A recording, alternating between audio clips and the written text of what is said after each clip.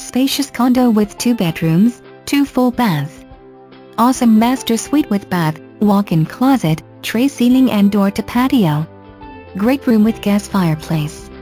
Engineered hardwood recently installed in the kitchen, great room and entryway. Solid surface countertops.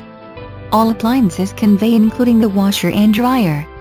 HOA dues of $525 per quarter includes use of clubhouse, mowing, snow removal and insurance.